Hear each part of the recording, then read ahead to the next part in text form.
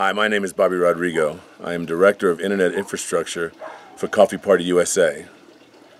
I am presently in Evergreen, Colorado at our annual Coffee Party Board of Directors conference. What we do here is we try and organize ourselves to reach our goals.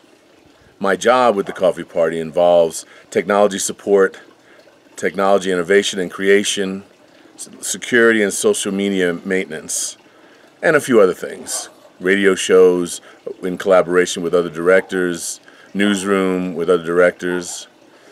Overall, for me, activism is important.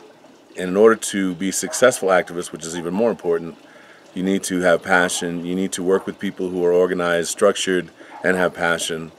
You need to have integrity, and you need to be goal orientated, and you need to be doers.